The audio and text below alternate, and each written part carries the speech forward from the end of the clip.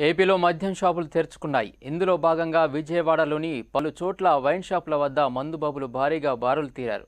మందుబాబులను control చేసేందుకు పోలీసులు శతవిధాలుగా శ్రమిస్తున్నారు. Covid virus విస్తరణంగా వ్యాపిస్తున్న తరుణంలో సోషల్ డిస్టెన్స్ పాటించకపోవడంపై నగర వాసులు భయాందోళనకు గురవుతున్నారు. ఇకపై ఇదే విషయంపై మరింత సమాచారం విజయవాడ నుంచి మా ప్రతినిధి మౌలాలి లైవ్లో అందిస్తారు. ఏపీ ప్రభుత్వం ఏదైతే మద్యం మద్యం కూడా చూస్తూ ఉన్నాం ఈ లాక్డౌన్ అయితే కేంద్ర ప్రభుత్వం సడలింపులు ఇచ్చిన దాంట్లో ఈ రోజు నుంచి కూడా మద్యం అనేది మద్యాన్ని కూడా సడలింపులు ఇచ్చారు ప్రస్తుతం మనం కృష్ణా జిల్లా ఏదైతే ఉందో కృష్ణా జిల్లా వ్యాప్తంగా కూడా కృష్ణానే కాదు ఏపీ వ్యాప్తంగా కూడా చాలా వైన్ షాపులు ప్రభుత్వం ఆధీనంలో నడిచినటువంటి వైన్ షాపులకు చాలా అంటే అన్నీ కూడా అయితే వాళ్ళు నడుస్తూ ఉన్నాయి. ఉదయం పదకొండు గంటల నుంచి రాత్రి ఏడు గంటల వరకు కూడా ఈ మద్యం షాపులు అయితే నడవనున్నాయి. మనం చూస్తూ ఉన్నాం ఏపీ వ్యాప్తంగా కూడా ఈ మందులు బాబులు ఎవరైతే ఉన్నారో అత్యధికంగా కూడా క్యూ లైన్లో నిలబడి అంటే మద్యం తీసుకునేందుకు కూడా పెద్ద ఎత్తున చే- చేరుకుంటా ఉన్నారు. ఇక్కడ చూసుకున్నట్టే కొంతమంది ఉన్నారు. చెప్పండి ఎలా అనిపిస్తుంది? ఎంత ఎలా అవైలబుల్గా ఉంది?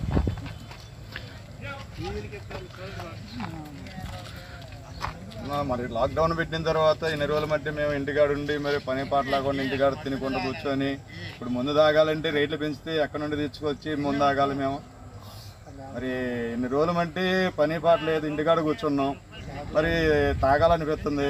తాగాలనిపిస్తే ఇప్పటికిప్పుడు మళ్ళీ పది రూపాయలు ఎక్స్ట్రా అంటున్నారు క్వార్టర్కి వచ్చి. క్వార్టర్కి వచ్చి పది రూపాయలు ఎక్కడి నుండి తీసుకురావాలి? ఇప్పుడు ఏ ఇంట్లో నుండి ఏదో ఒకటి అమ్ముకొని తింటామో ఏదో ఒకటి చేసుకుంటూ తింటున్నారు?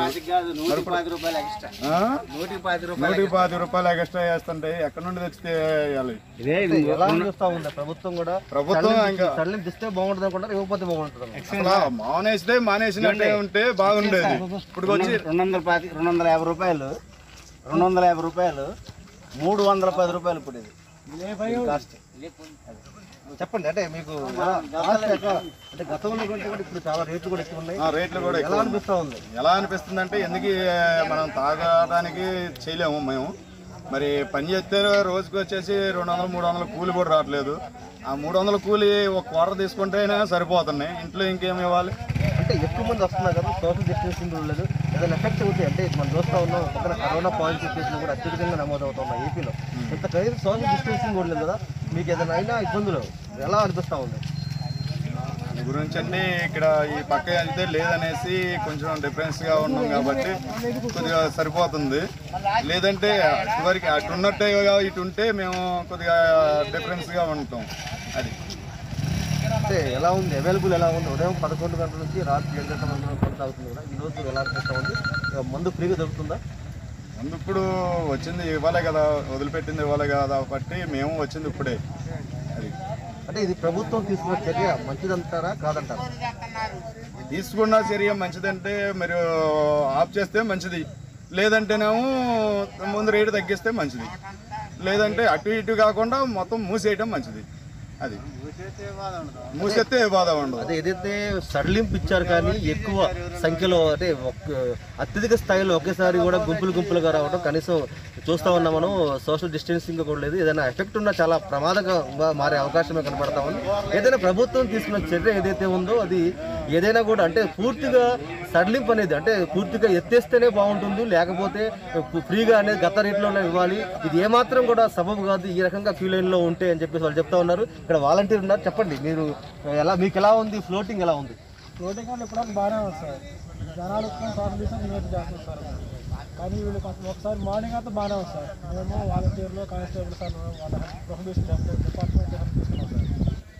బాగానే ఉంది ఇప్పుడు టైం అయిపోయి కొద్దిగా రద్దీ పెరుగుతుంది సార్.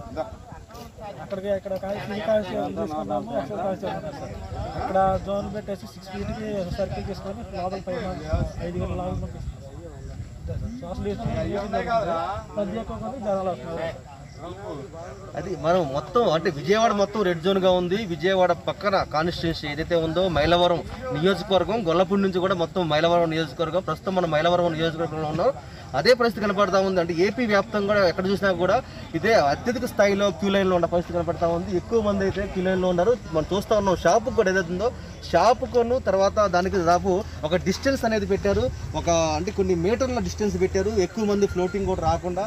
అలాగే మనం చూసుకున్నట్టయితే ఇది సర్కిల్ ఏదైతుందో ఉందో అంటే ఒక సర్కిల్ కూడా లేవు. మనకు చూస్తా ఉన్నాం. అంటే సర్కిల్ కూడా లేని పరిస్థితి. అంటే ఒక కొంత డిస్టెన్స్ అయితే ఉంది ఆ డిస్టెన్స్ ఏదైతే ఉందో ఆ డిస్టెన్స్ లోపల ఎవరైతే ఉన్నారో రావాలన్నా కూడా ఒక కొంతమంది ఒక ఫైవ్ మెంబర్స్ని మాత్రమే పంపిస్తా ఉన్నారు. ఫైవ్ మెంబర్స్ని అక్కడ ఫైవ్ మెంబర్స్ కూడా వెళ్ళి ఆ వైన్ షాప్ కన్నా లైన్ వరకు ఏదైతే ఉందో లైన్ కొంత డిస్టెన్స్ అయితే కనపడతా ఉంది. మొత్తం ఓవరాల్గా చూసుకున్నట్లయితే ఏపీ వ్యాప్తంగా కూడా ఇదే పరిస్థితి కనపడతా ఉంది. పెద్ద ఎత్తున ఎవరైతే మందు సేవించే వారు ఉన్నారో మందు మందు బాబులు ఎవరైతే ఉన్నారో మార్నింగ్ నుంచి కూడా మన కొన్ని ఏరియాలో చూసుకున్నట్లయితే ఉదయం ఆరు గంటల నుంచి కూడా పడిగాపులు కాస్తున్న పరిస్థితి కనపడతా ఉంది. ఏదైతే ప్రభుత్వం అంటే ఎత్తేస్తే పూర్తిగా ఎత్తివేయాలి కానీ ఇలా ఇబ్బందులు పెట్టడం అనేది ఏమాత్రం కరెక్ట్ కాదు. ఎందుకంటే ఇది ఒక చాలామంది అలవాటుగా చేసుకున్నారు.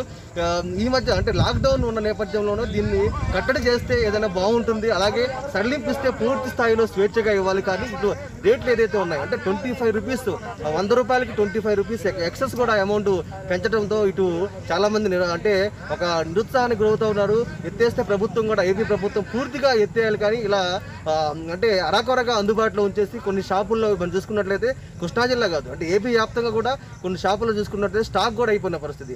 ఉదయం ఆరు గంటల నుంచి అంటే క్యూ లైన్లో అయితే ఉన్న పరిస్థితి కనపడతా ఉంది. అత్యధిక స్థాయిలో రావడంతో కొన్ని షాపుల్లో స్టాక్ కూడా అయిన పరిస్థితి కనపడతా ఉంది. ఓవరాల్గా చూసుకున్నట్లయితే ఈ మద్యం అనేది అంటే ప్రభుత్వం సంబంధించి కూడా ఏదైనా సడలింపిస్తే పూర్తి స్థాయిలో ఇవ్వాలి లేకపోతే ఎత్తేయాలని చెప్పేసి ఇటు మందుబాబులు కూడా చెప్తున్న పరిస్థితి. కెమెరా పర్సన్ రవితో Moulali one TV news Mylavaram నుంచి.